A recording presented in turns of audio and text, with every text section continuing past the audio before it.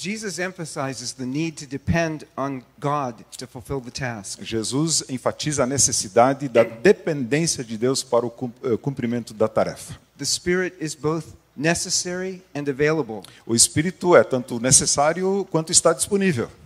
Jesus' hearers would have understood his promise Os ouvintes de Jesus com certeza teriam entendido a sua promessa, as involving prophetic empowerment. eh, como significando capacitação profética.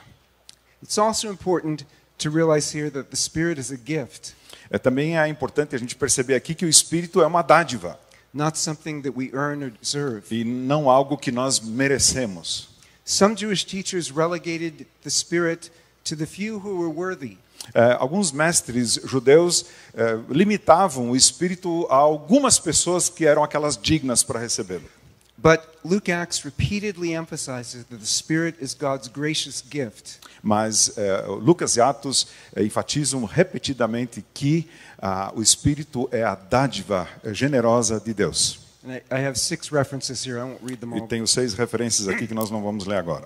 Just as we must depend on God's gift for righteousness, Assim como precisamos depender do dom de Deus para a justiça e justificação, for new ways of thinking, like we talked about a couple days ago, para novas maneiras de pensar, como nós tratamos esses dias, and for moral transformation in the fruit of the Spirit, e para a transformação do mundo e para o fruto do Espírito.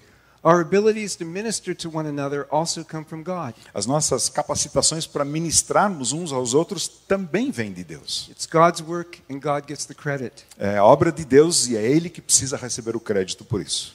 God never expected the church to carry on Jesus' mission in our own strength. Deus nunca esperou que a igreja levasse adiante a missão de Deus, é, é, de Jesus, com as nossas pró- próprias forças. He invites us to carry on the mission in His strength. Ele nos é, convida a levarmos adiante a missão com a força dele. So, looking first at how much we need the Spirit. Então vamos olhar primeiro para o aspecto do quanto nós precisamos do Espírito para a nossa missão. Jesus himself provides the best model for Jesus, on the próprio Spirit. Jesus é o melhor modelo para a dependência do Espírito. In Luke 4:18, Em Lucas 4, 18, he declares that the Spirit anointed him for his mission. ele declara que o Espírito o ungiu para a sua missão. Peter likewise notes E Pedro, da mesma forma, in Acts 10:38 observa em Atos 10, 38, that the Father anointed Jesus with the Holy Spirit and que o power Pai ungiu Jesus eh, com o Espírito Santo e poder, so that he healed and cast out demons. eh, para que ele eh, expulsasse demônios e curasse. Jesus begins his public ministry only after the Spirit comes on him. Jesus começa o seu ministério público somente depois que o Espírito vem sobre ele.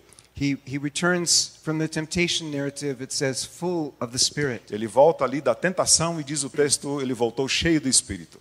If our Lord, who, unlike us, is God in the flesh, É, se o nosso Senhor, que diferentemente de nós, é Deus em carne, if he depended on the Spirit, se ele dependia do Espírito, how much more must we? quanto mais nós precisamos.